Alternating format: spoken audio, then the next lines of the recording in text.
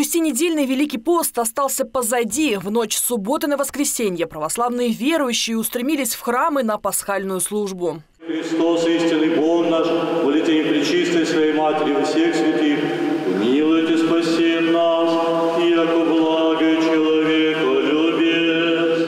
Традиционно за несколько минут до полуночи священнослужители и прихожане совершают крестный ход. Здесь, в поселке Развилка, пасхальную службу посетили сотни верующих. Настоятель храма, священник Петр Зорин, провозгласил «Христос воскресе!». Христос воскрес!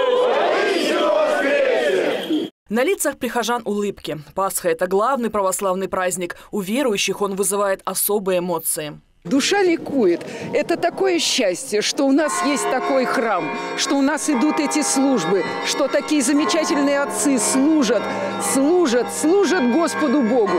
Слава Христу! Христос воскресе! Радуемся, что нас Бог жив, что Он воскрес, что Он с нами. Среди прихожан Развилковской церкви преподобного Иосифа Игумена Володского и председатель Совета депутатов Ленинского городского округа Станислав Радченко. Традиционно пасхальную службу посещает всей семьей. Праздник всех праздников. Это э, символ победы, э, жизни над смертью, э, добра над злом. И от всей души хочу всем пожелать мира, добра, благополучия, добрых помыслов и добрых дел.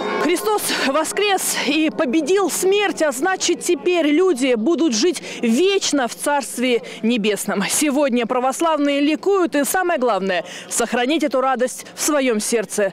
Юлия Погосян, Александр Логинов, Ольга Садовская. Видно этого.